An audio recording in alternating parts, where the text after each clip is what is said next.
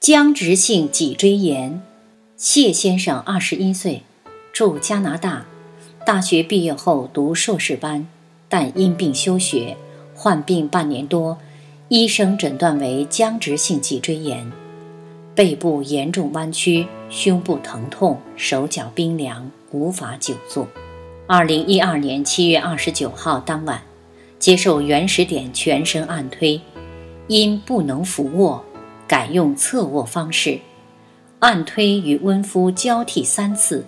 约一个半小时，痛点偏重在上背部至肩椎之间的原始点区域。按推完毕，发现背部弯曲已明显改善。嘱咐二十四小时温敷，远离寒凉食品，并大量饮用姜汤。七月三十一号上午，接受第三次按推，谢先生主动要求俯卧，按推力度稍加重。患者仍能承受，全身按推与温敷交替三次，共约一个半小时后，痛点的疼痛程度减轻，全身舒畅，身体更直，头部的抬起度也明显改善，患者重新拾回笑容。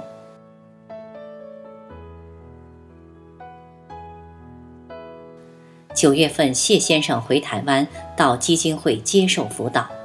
经过将近三个月的按推，并配合运动、温敷、喝姜汤等，持续不断，身体状况明显改善。在二零一二年十一月二十六号，开心的回国复学。